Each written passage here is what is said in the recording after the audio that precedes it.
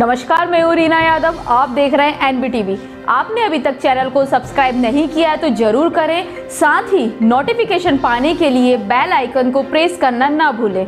आइए देखते हैं इस वक्त की बड़ी खबर। सोहागपुर के शास्त्री वार्ड सिटी मॉल के पीछे रहने वाले मंडलोई परिवार के घर में घुसकर भीख मांगने वालों ने बेग उठाकर ले गए, जिसमें नकदी सहित मंगलसूत्र और ईयररिंग रखे हुए थे। घटना के बाद जब घर के पिछले कमरे में काम कर रही पूर्णिमा मंडलोई बाहर आई तो देखा दरवाज़ा खुला है और उनका बैग भी अलमारी से गायब है, जिसके बाद पुलिस थाने में आवेदन देकर शिकायत दर्ज कराई गई। आपको बता दें, चोरों ने अब दिन दहाड़े चोरी की घटना को अंजाम देने के लिए नया तरीका ढूंढ निकाला है। पहले रेकी करते हैं, फिर भीख मांगने के बहाने लोगों के घर जाते हैं।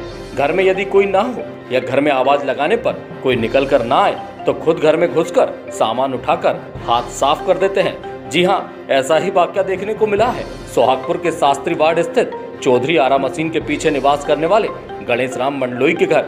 घटना शनिवार सुबह दस बजे से साढ़े दस बजे के बीच की बताई जा रही है, जब गणेश मंडलोई की पत्नी, पूर्णिमा मंडलोई, घर के पीछे काम कर रही थी।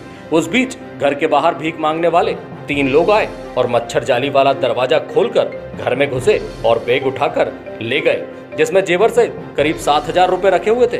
घटना के बाद परिजनों ने थाने में एफआईआर दर्ज कराने के लिए आवेदन दिया है। उसके बाद शनिवार की शाम को स्थानीय थाने से एसआई अर्जुन बर्दिया और हेड कांस्टेबल वीरेंद्र शुक्ला ने पड़ताल की है। फ़िलहाल मामले को लेकर मुकदमा दर्ज नहीं किया गया है। वहीं संदिग्ध लोगों की पहचान को लेकर एक सीसीटीवी फुटेज भी मिला है, जिसमें पड़ोस के लोगों ने उन्हें भीख मांगने वालों के रूप में पहचान की है। नगर में हुई इस प्रकार की घटना से लोग अब सचेत हो गए हैं और घर के दरवाजे में कुंडी लगाना शुरू कर दिया है।